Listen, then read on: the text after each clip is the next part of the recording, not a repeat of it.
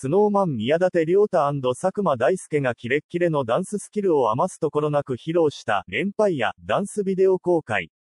最後は佐久間が座り込んで両手を上げ、その後ろで宮舘も同じように両手を上げる、という謎のポーズ。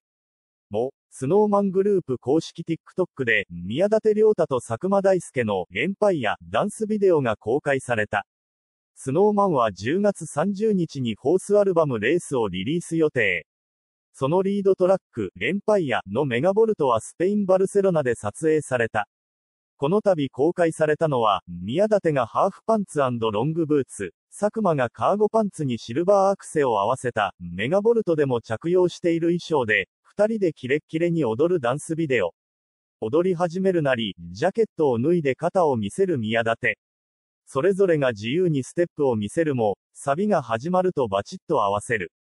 佐久間は、より一層スイッチを入れるように笑顔が輝く。